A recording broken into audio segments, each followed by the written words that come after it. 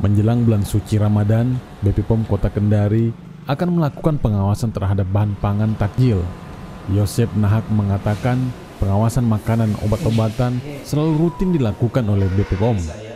Dan menghadapi bulan suci Ramadan, pengawasan bahan makanan akan lebih ditingkatkan lagi.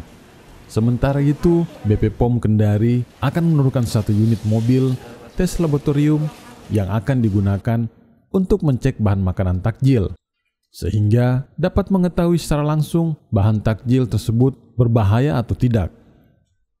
Ada tentu permintaan yang meningkat, permintaan terhadap obat dan makanan yang meningkat menjelang hari raya, maka dilakukan intensifikasi. Artinya pengawasan itu lebih intens lagi, frekuensi pengawasannya lebih ditingkatkan lagi. Cakupan pengawasan, sarana-sarana yang akan eh, diawasi tentu lebih meningkat lagi.